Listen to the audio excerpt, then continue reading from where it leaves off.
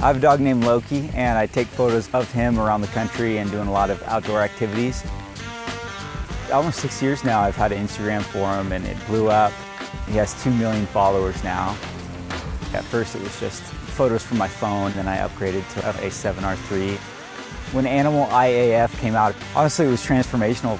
It's the most revolutionary thing I've ever used in any sort of camera ever for capturing and telling the story of Loki.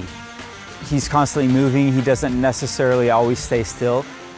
He has a half blue, half brown eye, and I'm always trying to focus on that eye. With Animal Eye autofocus, it's so easy and it just, it tracks him so much better than I thought and farther away than I thought it would have been able to track him.